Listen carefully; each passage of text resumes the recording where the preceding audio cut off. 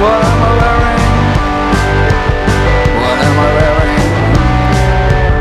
What am I wearing today?